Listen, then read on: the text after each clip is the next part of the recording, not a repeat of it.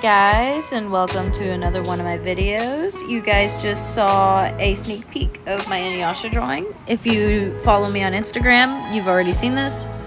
But I wanted to post it again on my YouTube.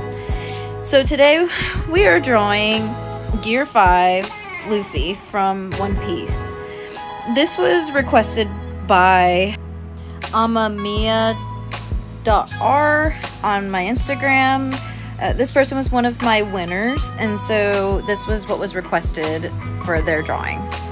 So, I have not really seen all this anime. I've watched bits and pieces of it, I've watched some se seasons of it, so I was kind of really interested in the Gear 5 because I was like, what is this? Like, he goes Super Saiyan or something? I had no idea. And when this was requested of me to draw, that I thought, well, I can do my best. It's not really my art style, but I found it as kind of a challenge. It's like, yes, I'm gonna do this. I'm going to draw this Gear 5 Luffy. So uh, I used the pictures you saw earlier as my reference and I kind of stuck true to that reference. I added, I changed a little bit with the swirlies of the hair and the clouds, I guess, that are around him because I wanted to really put my style in it and I was really happy that I did this because I loved how it turned out. Another thing that this was also a challenge for is because he has like probably like 2,000 abs. so I had to draw the abs to where they looked good and I I have struggled in the past with male anatomy so this was kind of a brush up on that a little bit and I would love to draw more male characters with awesome abs and, you know, perfect bodies, I guess.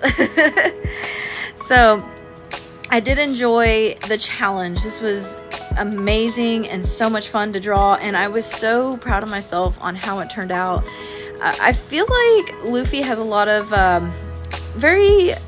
He doesn't have as many sharp edges, it's more round there's a lot more round, but there's still sharpness to his character in some areas. Like, like I said, like his abs have, have sharp edges. He's got sharp edges around his jaw a little bit, but he also has a round face. So I try to incorporate the roundness of his face in this. So that's kind of what I focused on was really trying to get that, I don't know, that smile, that it kind of came out a little creepy to be honest with y'all. Uh, I felt like the initial reference was a little bit, he was a little bit more, I don't know, on the, the creepy, mischievous side. So I did see the anime part when he gets Gear 5, and it's kind of cartoony. So I didn't feel like I captured that. I wanted to capture more of the series Luffy, which is, I'm not sure that's what Gear 5 is. So I'm still kind of learning what all that's about, and I think that that it's really cool that he hits Gear 5.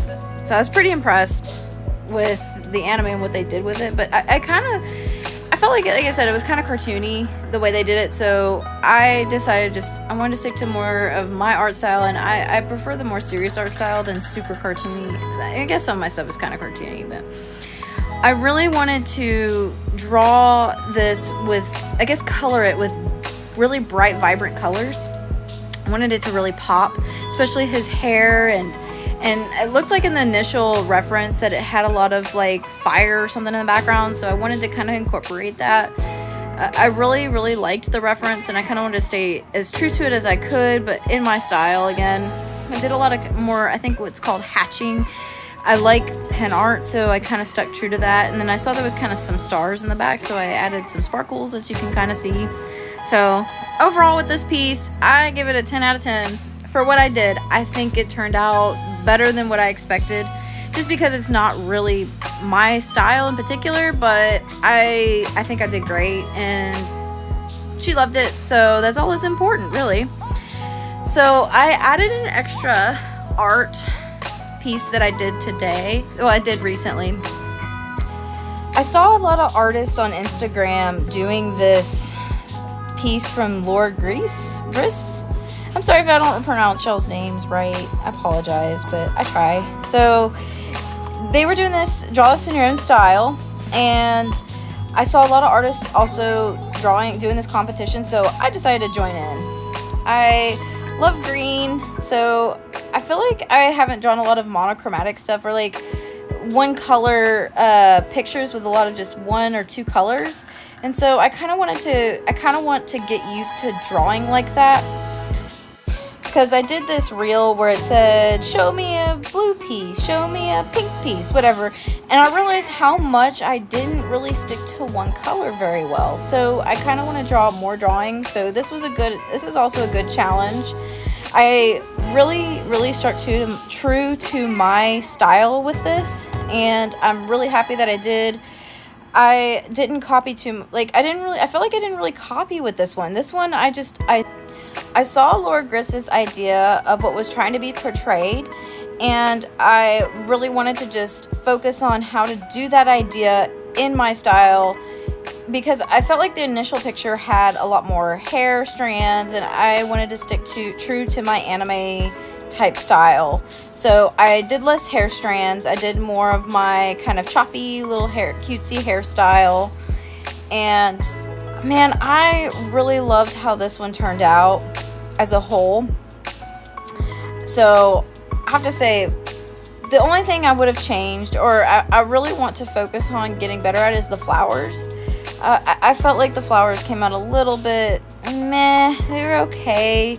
Uh, the shape, the shapes were a little bit off in my opinion, but overall, I think the piece turned out excellent, and I was so happy to do it. I know I don't always show my sketching portions of my videos uh, because sometimes I think it's just they're long and, and sometimes I, it's a lot of maneuvering and messing with the shapes because sometimes I'll draw it, it'll look ugly, and then I'll redraw on top of it or I'll, I'll erase. It's a lot of correction. So that's why I show you guys a little bit more of the line art portion. I think I'm going to stop doing that and I'm going to start showing y'all the sketching portion because the sketching portion isn't always pretty. And I think that that's important to, sh to show because you, you have to take, you have to get the initial shapes down and then what you do is you refine them and you refine them and you refine them and then you eventually draw the end product of what you like some artists they do it a lot where they refine it refine it refine it I, I, I tend to just when I do my sketching phase, I'm sketching just on that layer. And I will refine it, I'll erase, I'll, I'll write over it, I'll erase, but, but I use a whole nother layer when I do my line art and I do my shading. And then I use multiple layers with the actual color. So I think, I think I'm going to show you guys more of the messy process of drawing. Kind of skipped on that because I felt like it just added a lot more to the video that may not be as interesting, but maybe I'm thinking maybe it's more interesting to draw or to see the sketch process because it's the sketch in my opinion the sketch process and the line art process are probably more important than the color itself. Because if your if your shapes aren't good and if the shapes don't look right then the color is just you're just basically putting uh, what do they say like makeup on a on a pig, or I guess the term is lipstick on a pig. So basically, what I'm trying to say is if your line art and your shapes don't look good and you're trying to put something shiny, like shiny colors, shiny things, you know, whatever it is, the shapes still don't look good and you're just basically not getting the fundamentals down. And and personally, I think fundamentally if you don't have good shapes or if the the picture itself, like the actual line art and the shapes themselves don't look good, then putting something shiny on it is not going to make it better. It's still a pig, basically, is what I'm trying to say with that. So, as messy as it seems in my sketching, I think it is important to also see the sketching visu visibly. Ah, I can't say that word. Visibly. so that you guys can get an idea of what it takes to get to from point A to point B to get to the end product because sometimes sketching and drawing is kind of messy and that's okay. I think that all the stages are important, but I think again, the most important is your sketch process and then the line art ultimately.